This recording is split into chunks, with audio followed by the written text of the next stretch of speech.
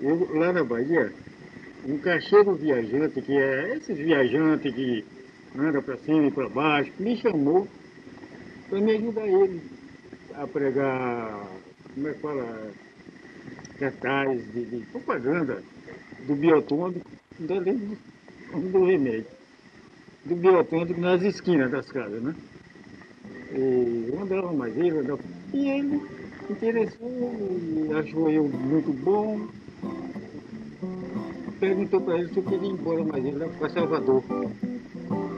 Aí foi onde eu caí. Nasceu para trabalhar, sem tempo para estudar.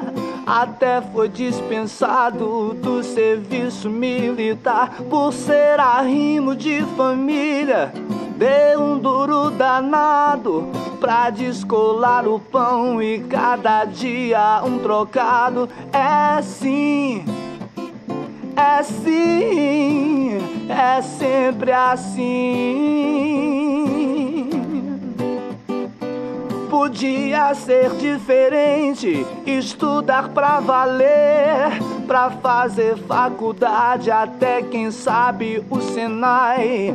Depois de alguns anos, adulto e formado, estar apto a vender cachorro quente lá no Braz. É sim, é sim, é sempre assim.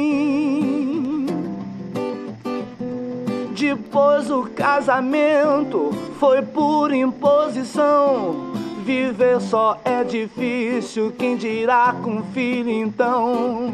E quando a coisa aperta, ele culpa o coração. Não vê que o motivo é a falta de condição. É sim, é sim, é sempre assim.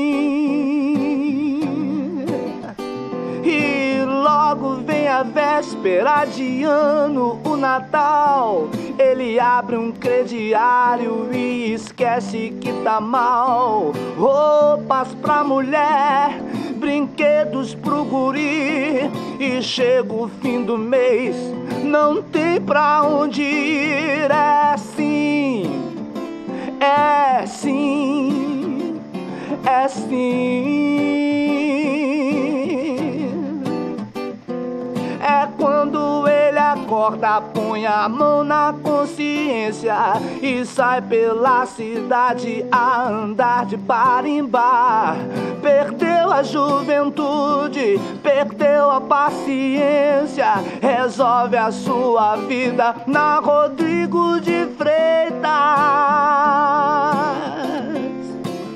no viaduto do chá.